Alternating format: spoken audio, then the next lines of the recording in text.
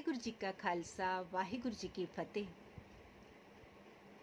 छठे पातशाह श्री गुरु हरगोबिंद साहिब जी मीरी पीरी के मालिक उनके आगमन गुरुपुर पर शिरोमणि प्रबंधक कमेटी श्री अमृतसर साहिब से प्रकाशित गुरमत ज्ञान में इस माह प्रकाशित अपनी एक मौलिक रचना आपसे साझा करना चाहूंगी जिसका सिरलेख है गुरु अर्जन देव जी की आँखों के तारे।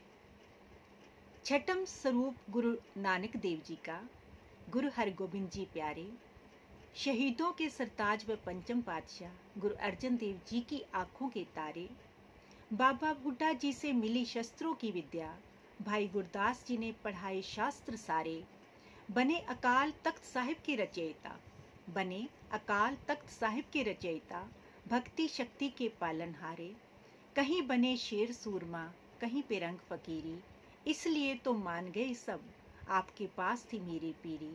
संत और सिपाही वाला, रूप विलक्षण धारा। संत और सिपाही वाला, रूप विलक्षण धारा, बदी की ताकतों को दिया आपने जवाब करारा। समय का बादशाह सह न सका, सच्चे पातशाह का नूर। ईर्ष्यावश ग्वालियर के किले में कैद कर लिए गए हजूर। साईं मियाँ मीर जी जो थे सूफी संत पीर फकीर। सुनी खबर जब उन्होंने, तब हुए बड़े दिलगीर। दिल्ली पहुँचे तत्काल, जहाँ गिर को फटकार लगाई। अति हो गई जुल्म की, करो तुरंत गुरुजी की रिहाई। आदेश आपकी रिहाई का सिपाही लेकर आए।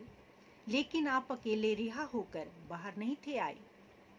बावन राजा जो वहाँ कैद थे, उन्हें भी छुड़वा लाए। उसी दिन से आप दाता बंदी छोड़ कहलाए दिन आया दिवाली वाला। जो बंदी छोड़ दिवस कहलाए सिखों ने हर्षो उल्लास से उस दिन घी के दीप जलाए। सिखों ने हर्षो उल्लास से उस दिन घी के दीप जलाए। छठम स्वरूप गुरु नानक देव जी का, गुरु हरगोबिंद जी प्यारे, शहीदों के सरताज व पंचम पातशाह, गुरु अर्जन देव जी की, जो थे आँखों के तारे, जो थे आँखों के तारे।